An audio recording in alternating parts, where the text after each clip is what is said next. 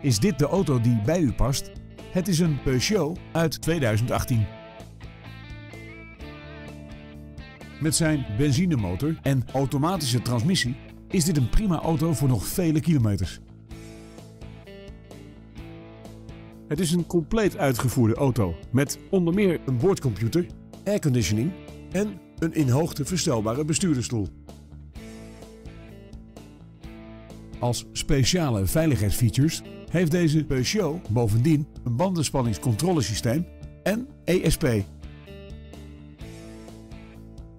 Tevens wordt deze auto geleverd met Nationale Autopas. Wilt u een proefrit met deze Peugeot? Bel ons dan nu voor een afspraak.